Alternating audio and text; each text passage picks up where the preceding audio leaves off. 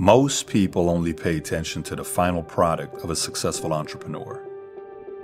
They say things like, I can never be like them, or they got lucky. What most don't see is what they've overcome.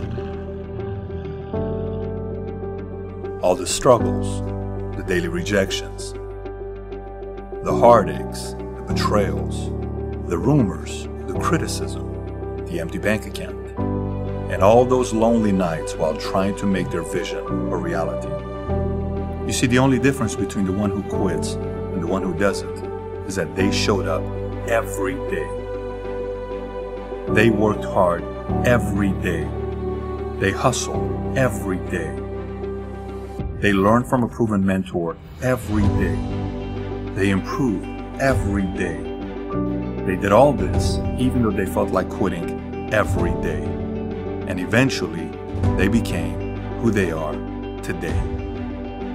Great progress is often the result of subtle change of seeing something a little bit differently than you did just a moment before. It's not that the world around you has changed. It's that your thoughts about it have. That you looked hard enough to see the opportunity when most simply walked by. See, people live in this place called reality this little plot of land surrounded by a fence that separates them from the imaginary, the impossible, and the make believe. But what if you took a second to stop, to look out at the unknown? What if every day you pushed that fence back, little by little, watching what used to be imaginary become your new reality? Soon you'd look around and you would wonder why a boundary ever existed.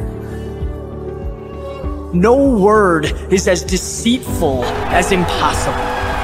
Impossible is temporary. It's a falling raindrop. It's a bar that's constantly moving. And as goes your mind, so goes the world around you. When that intersection of real and imaginary blend together, possibilities multiply.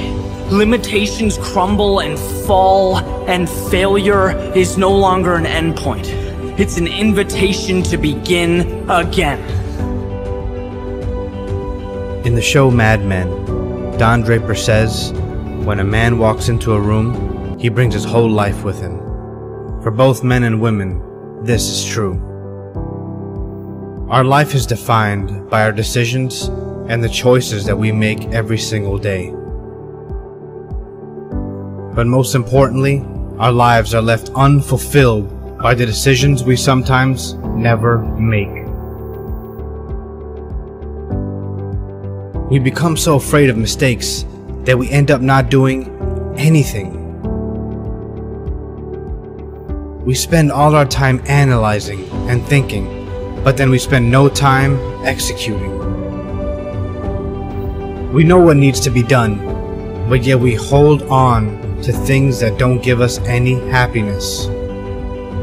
We can hear our soul crying out, but we ignore its call to decide on a better future. Your new path in life is a decision away. Decide that today you will not waste any more time.